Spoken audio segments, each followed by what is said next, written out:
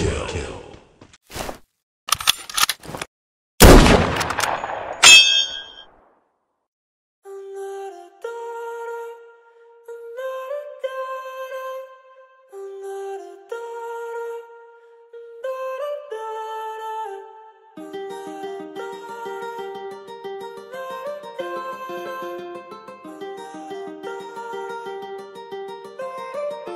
Why